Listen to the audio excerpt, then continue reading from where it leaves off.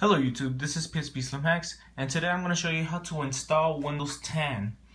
And uh, if you guys didn't look at my previous video, I show you guys how to download Windows 10 from the official Microsoft website.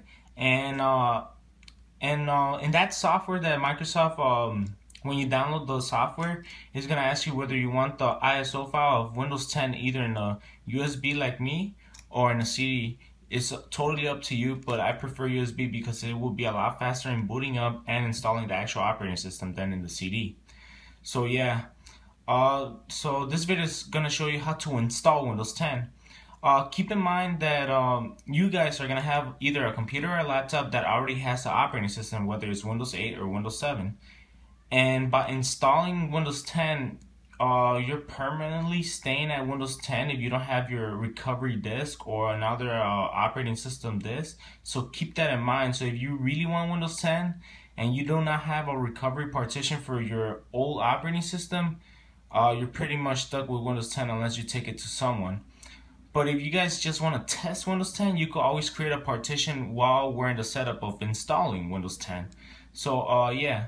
So since I have a USB, uh, I'm just gonna be going I'm gonna go ahead and connect my USB to uh, my laptop here. Let me focus for you guys. That way the video will be a little bit more clear.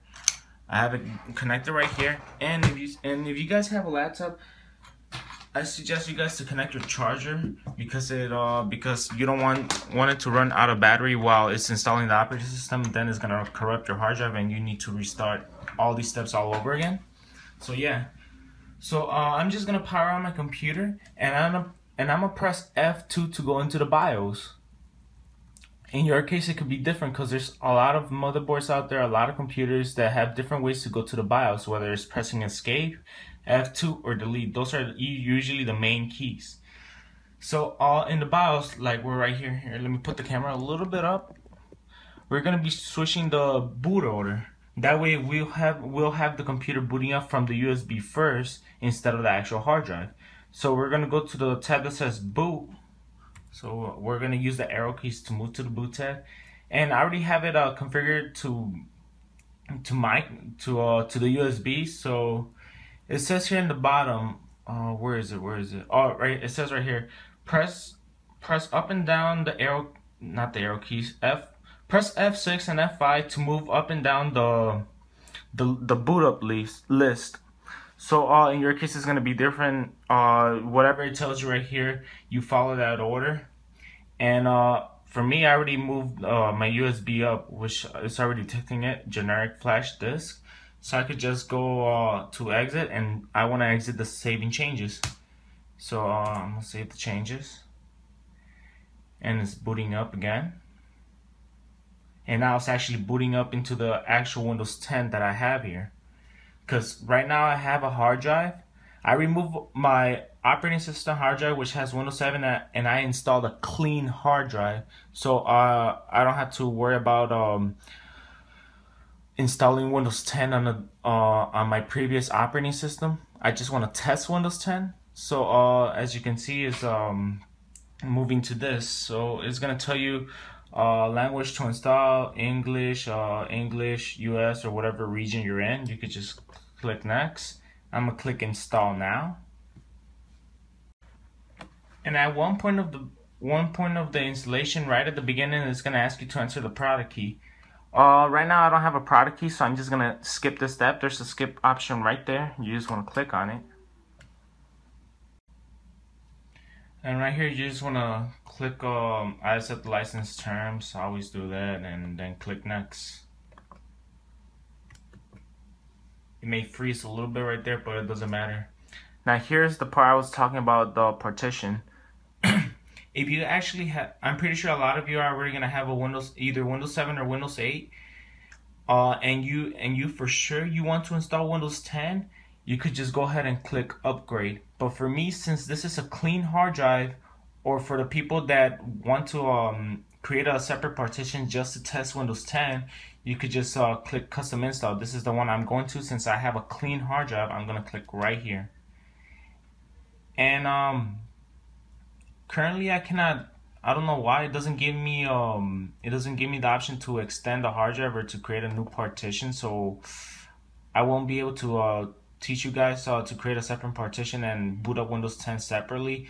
But I have another tutorial. I'm gonna have the annotation somewhere around this video, and it'll show you on how to uh, create a partition. That way you'll be able to uh, have another operating system.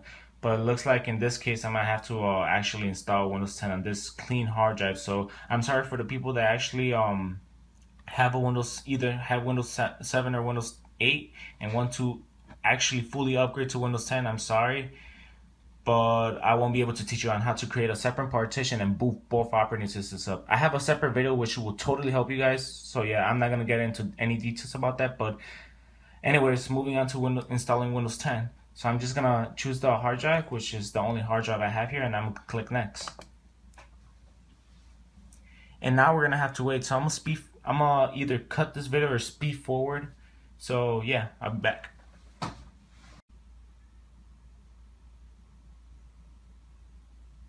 Alright guys, the computer is going to be restarting at this point. Whenever you hit your manufacturer's page, you just want to press, you want to go into the BIOS. Like right now I'm pressing F2 to go into my BIOS. And hold up, let me back up a little bit. Now we're going to be changing the boot order again.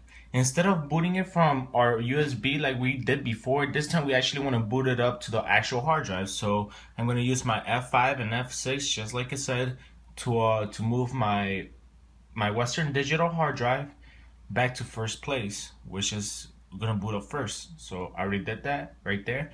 And I'm just gonna scroll all the way where it says exit. I'm gonna exit saving changes. so at this point, the computer should be able to boot up at Windows 10. As you can see there, it's no longer booting from from the USB because we switched the order. So now it's actually booting up into the actual operating system. So I'm just gonna speed forward through this video. Now the computer should reboot again, so just let it reboot. Now once it boots up and you actually see something on the screen like this, it's going to tell you it's time to enter the product key. Uh, you just want to click do this later right here. Now it's going to tell you to connect to the Wi-Fi. You can either enter your password or just uh, skip the step. I'm just going to skip the step. And I'm just going to use express settings for now. Now it's gonna ask you to uh, create an account for the computer. So I'm just gonna put uh, what test, and uh, I'm just gonna, I'm not even gonna create a password. I'm just gonna click next. Uh, if you see the screen flashing, that means uh, I guess the operating system is trying to adjust to your screen resolution. And now, after you successfully um, did all these steps, your computer should actually have Windows 10 and for me, this is something brand new because before I used to hate Windows 8, and now this is my actually very, very first time using Windows 10. I never had a first hand experience, so I want to see the new and improved start menu. Um, so far, I don't really like it because it looks almost the exactly same stuff as um as the Windows 8 start menu, but only smaller that you can actually see the desktop behind you. But uh, I'm pretty sure this way we go to the settings. I don't want to judge too much right now because this is actually my very, very first time running the operating system. So I'm not going to judge or anything. If I do find a way to bring it back to the old start menu, like the actual settings and all that, uh, I'll make another separate tutorial. Um, and yeah, guys, so if you guys are wondering why my screen is so big, it's because it probably didn't um, get the resolution Alright guys, sorry for that. I didn't know what I was doing since this is Windows 10. Apparently to switch the, the resolution for here, you want to go to start, you want to go to settings, you want to go to system and display notifications, apps, power, whatever. You want to go right here where it says display the tab right there. You want to just go down. You want to go to advanced display settings and right here, mine says, mine says 1366 times 768 so I'm just gonna choose that one. I'm gonna click apply. So now the resolution should be very very good. Very very fine like how it should be. So yeah this is how it actually supposed to be. So yeah guys uh, Windows 10 is a very very different but I'll see if I if I upgrade. But right now this is just a tutorial how to install Windows 10 so again guys please give this video a, a like please comment on what you think and please subscribe to uh, support me guys it really helps me a lot and it really helps me more than this video helped you so thank you so much guys for watching this video Uh, if you again, if if you didn't uh, if you if you don't know on how to download Windows 10 for free, I'm gonna have an annotation right here in the middle of this video. You can just click on it and it's gonna show you how to download Windows 10 for free from the actual Microsoft official website. And this video is gonna help you on how to install it, just like how I did right now. So yeah, guys, thank you so much uh, for watching this video. I'm probably gonna release a video on how to downgrade from Windows 10 to Windows 7 uh, sooner or later. I just want to have time to actually explore with the actual operating system. But don't worry, guys, I'm still gonna upload that video. So, guys, again, thank you so much for watching this video. Please like, comment, and subscribe for more uh, PC tutorials. This is PSP Slim Hacks. Bye.